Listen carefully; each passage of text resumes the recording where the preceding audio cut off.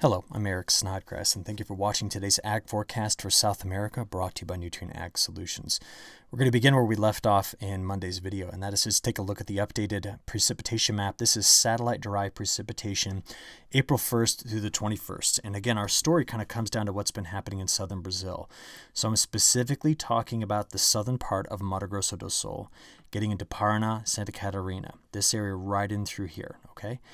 That is an area that it appears that over the month of April has missed out almost entirely on precipitation. It's been wetter in Argentina, it's been wetter farther to the north, but that's been the region we've been most concerned about.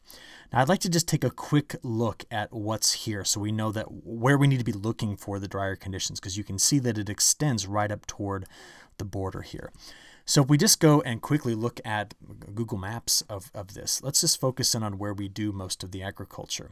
Uh, to the south, there's quite a bit of forest, and over here into the eastern part of the state, uh, remember, this state is large. This is like the size of Illinois here, okay? Um, over in the eastern part, we, we don't have a lot. Uh, well, the ag is a bit more dispersed.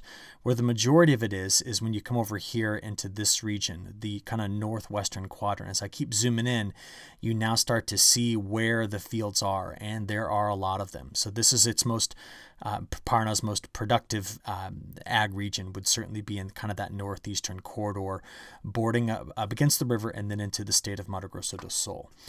So given that, um, I want to now show you a different set of imagery. This is some satellite imagery. We're going to compare last year at this time to this year.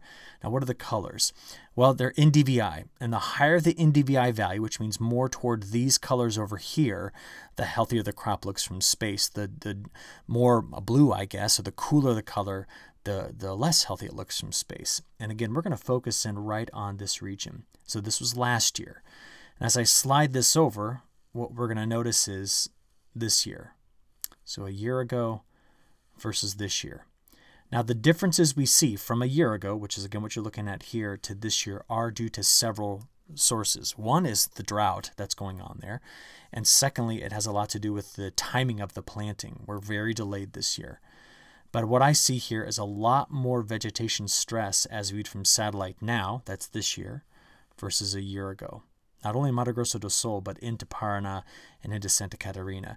And, and, and what you got down here, this is all forest. I know you probably see that as the biggest change. That's all forest down there, but still, this is substantial. So given that, where are we going in this forecast? Well, we're going to go right over to the European model and get a good look at this. All right, working our way through Thursday and into Friday, it stays dry in that region. In fact, it stays dry throughout much of Brazil's growing area through the end of this week. There is a frontal boundary here that we're going to watch Friday afternoon, working our way into the day on Saturday that's going to press farther to the north. You see it? And it could, this is Saturday working into Sunday, bring in a chance for widely scattered uh, showers and storms into this area. Now, I'm talking, you know, this isn't like ubiquitous coverage of rainfall, it's scattered, precip at best.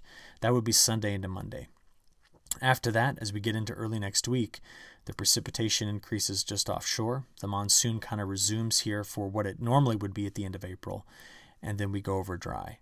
So we kind of stitch all that together. Let's just take a look at this from a different perspective. Let's go precipitation, seven day anomaly, and let's just look at the next week, which is what you've got here.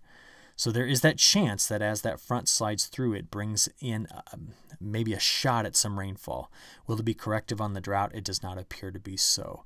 But we're wetter in Argentina and we're wetter north in Brazil. Uh, excuse me, northern Brazil. As we go from there into week two, this has been kind of our longer term discussion. It's been quite consistent. We're dry south, okay? Drier in Argentina, higher pressure takes over. And the monsoon, while weakening at the beginning of May, still is above normal in parts of Mato Grosso, Bahia, Tocantins, Minas Gerais, this area. The question is, how long does that last? Because we need the monsoonal rains to last longer and longer given the lateness of the planting of the safrinha crop. And so we have to ask, is the MJO going to play a role in this? Now, this is the extended MJO forecast going all the way out uh, to the 20th of May. So in the next 15 days, it slides around over into phase one. And we know that phase eight and phase one favor more precipitation here in this area, while it's drier farther to the south. So that's very consistent. But if the MJO does crash back here toward null space and pop back out, possibly over here in phase four or five, that would shut down the monsoon early. And the models are being consistent with that. If you look only at the month of May, so this is May 1st through May 30th, okay, so the, almost the whole month of May, we do see that it backs off the wetter conditions farther to the east, and we see a drier corridor into this area. Now, we would want this area to stay wetter through May to give us higher yields given the lateness of the safrinha crop in this region. But apparently, it appears that the monsoon may have a bit of an early end uh, due to the progression of the MJO.